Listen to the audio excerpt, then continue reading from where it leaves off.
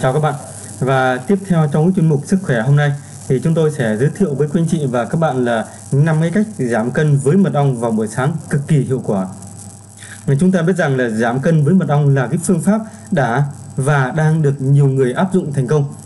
Mật ong từ lâu đã được biết tới với cái công dụng là làm đẹp da, chống lão hóa và tốt cho sức khỏe. Mật ong có chứa tới khoảng 70 loại vitamin, khoáng chất, axit amin khác nhau. Những cái dưỡng chất này giúp đẩy nhanh cái quá trình trao đổi chất, kích thích chất béo dư thừa trong cơ thể chuyển hóa thành năng lượng. Nhờ đó mà giúp bạn giảm mỡ thừa tại bụng, eo và đùi. Ngoài ra thì trong mật ong còn có chứa hai cái loại đường là gluco và fructose tạo nên vị ngọt ngào cho cái thực phẩm này. Đây là hai cái loại đường rất dễ hấp thụ, đi thẳng vào máu và không cần qua trung gian. Vì vậy mà uống mật ong tuy ngọt nhưng không gây tích mỡ khi mà sử dụng.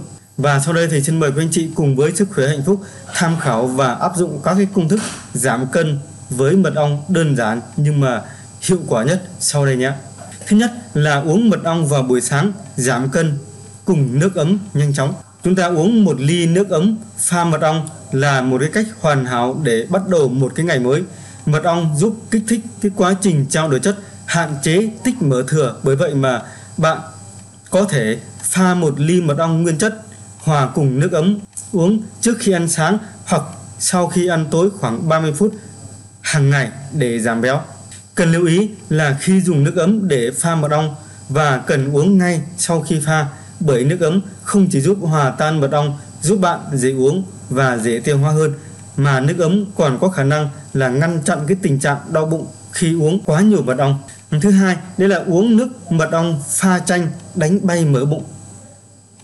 Muốn đánh bay lớp mỡ bụng tích tụ lâu năm thì cái công thức chanh mật ong sẽ là cái người bạn đồng hành không thể thiếu của bạn. Các axit amin có trong mật ong giúp kích thích chất béo chuyển hóa thành cái năng lượng kết hợp cùng axit trong chanh thúc đẩy quá trình tiêu hóa từ đó ngăn chặn sự hình thành của mỡ thừa ừ, cũng như mỡ tích tụ trong cơ thể sẽ được đánh bay thần tốc.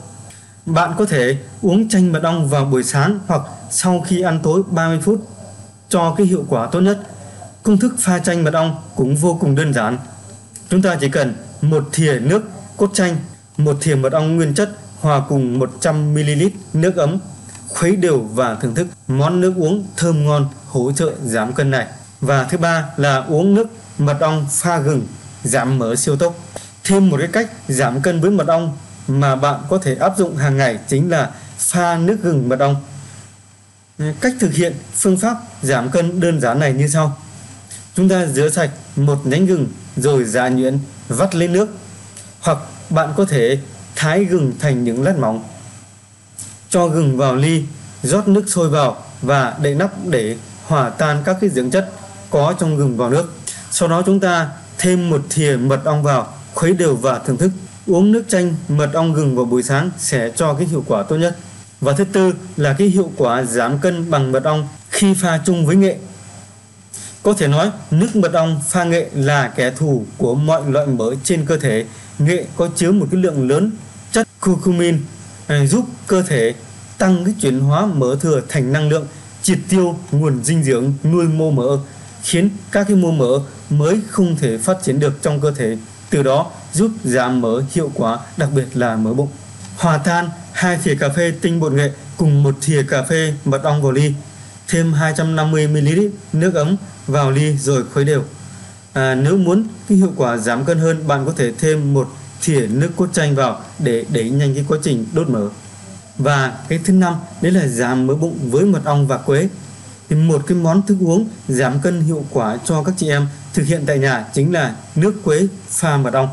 À, quế có tính chất nóng giúp phá hủy và đốt cháy lượng mỡ thừa trong cơ thể nhanh chóng. Kết hợp quế cùng mật ong không chỉ tạo nên thức uống thơm ngon mà còn hỗ trợ quá trình giảm cân của bạn.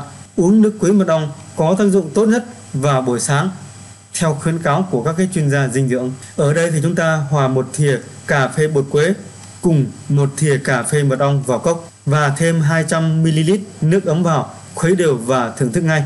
Nếu không có bột quế, bạn có thể sử dụng quế nguyên vỏ để thay thế.